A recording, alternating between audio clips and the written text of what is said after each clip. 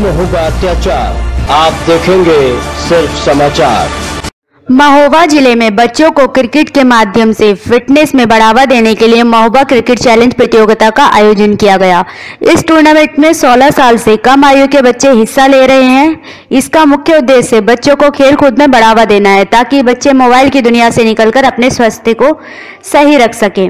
महोबा मुख्यालय के स्टेडियम में आज से महोबा चैलेंज ट्रॉफी का आयोजन शुरू किया गया। इस आयोजन में शहरी और ग्रामीण दोनों क्षेत्रों, कब 16 साल तक के बच्चों की टीमें भाग ले रही हैं और बच्चों को प्रेरणा देना इस ट्रॉफी का मुख्य उद्देश्य है। जैसा कि आज के ज़माने में बच्चे मोबाइल की दुनिया में खो गए हैं, उन्हें अपने स्वास्थ्य का ध्यान ही नहीं रहा। खेल की ओर बच्चों का ध्यान केंद्रित करना ही इसका मुख्य उद्देश्य है। विभिन्न इस टूर्नामेंट के आयोजक है, कहते हैं कि हम लोगों का उद्देश्य सिर्फ़ इतना है कि आजकल बच्चे मोबाइल में बिज़ी रहते हैं वे मोबाइल की दुनिया छोड़कर क्रिकेट खेलें और अपने स्वास्थ्य को सही रखें। इसके लिए जिला क्रिकेट एसोसिएशन का गठन किया गया है जिसमें ग्रामीण बच्चे भी आकर हिस्सा ले सकते हैं। मणिलाल पाटीदार क्रिकेट टूर्नामेंट के उद्घाटन में पहुँचे।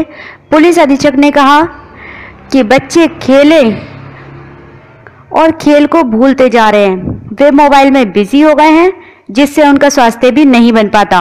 मोबाइल को छोड़कर खेल खेलें जिससे उनका मानसिक तनाव भी दूर होगा। महोबा ब्यूरो संतोष कौशिक की खास रिपोर्ट हिंदुस्तान न्यूज़ 24 आयोजन जो किया जा रहा है इसका मुख्य उद्देश्य क्या है? आज के इस आयोजन का मुख्य उद्देश्य है कि बच्चों की प्रतिभा को निखार के निखारना।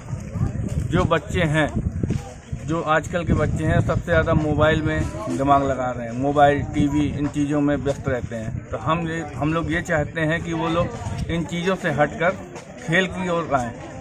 क्रिकेट है, कुछ भी है, कोई भी खेल है, जो स्टेडियम आए, खेलें और अपने आप को एक्टिव बनाएँ।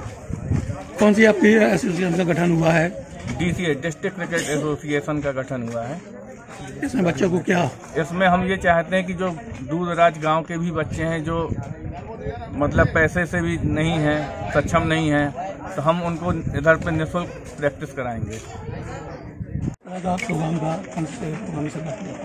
से से? ये महोबा क्रिकेट संघ के द्वारा आज एक मैच रखा गया है जिसमें नेहरा एकेडमी और लोकल से बाकी उनके क्रिकेटर्स हैं अंडर सिक्सटीन उनका मैच था तो आज उसी का उद्घाटन था अ, इसके अलावा जो यहाँ पे वन ज़ीरो नाइन एट का भी कैंप लगाया गया ताकि बच्चों को इसके बारे में बच्चों के राइट्स और उनके साथ अगर कोई गलत होता है तो क्या कार्रवाई होनी उसके बारे में जानकारी मिल सके खेलकूद का ये जो यहाँ ये प्रोग्राम है, इसमें इनके द्वारा बताया गया है कि निःशुल्क भी काफ़ी कुछ इसमें ट्रेनिंग व्रेनिंग कराते हैं, बहुत ही अच्छा है।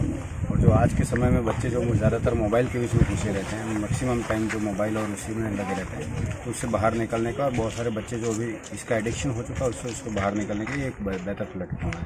और बच्चों को क्या संदेश देना चाहिए खिलाड़ी को? बस यही देना चाहेंगे कि जो भी करे मतलब मोबाइल से बाहर निकले। आज के टाइम की सबसे बड़ी दिक्कत यही है।